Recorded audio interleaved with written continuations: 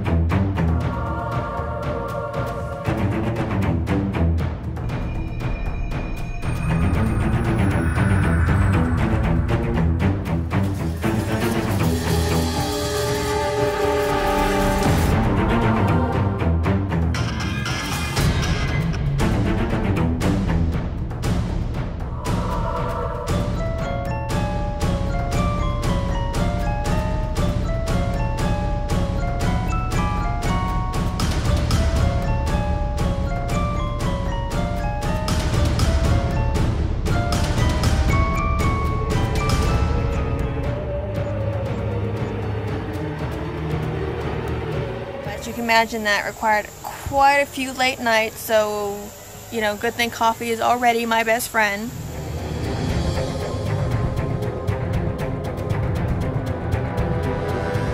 I started getting pieces, whole pieces together, ending up something with something like this. This unfortunately did not fit.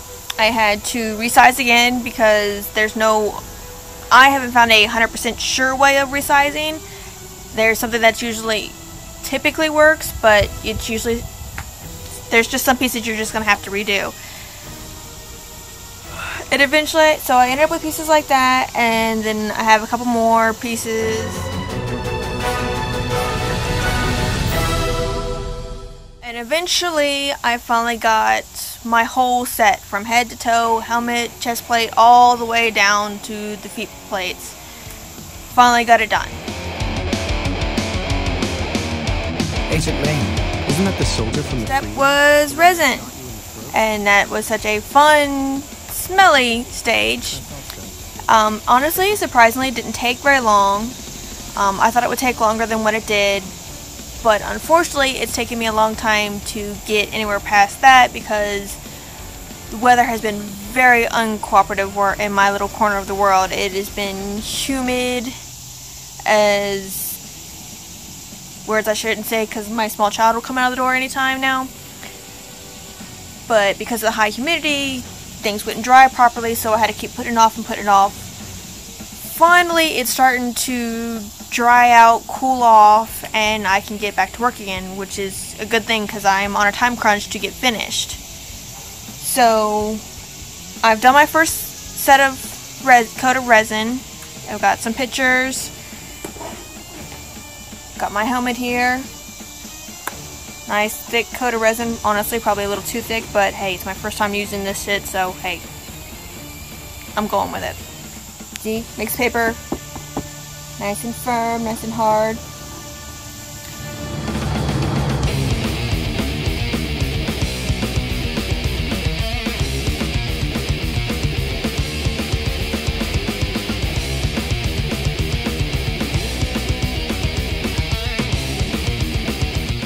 That brings us to today, where today I'm going to be taking fiberglass cloth and laying it on the inside to reinforce the shapes.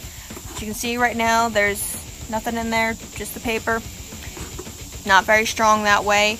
And so I've already taken my fiberglass cloth and I've worked it down into small, more easily, easable, what, what's the word I'm looking for? Easy to work with stri- uh, pieces. I could honestly probably make them a little bit smaller, but I'm kind of trying to dance a line between small enough to work with, but big enough for it not to take a million hours to get it finished. Because again, I'm on a time crunch now.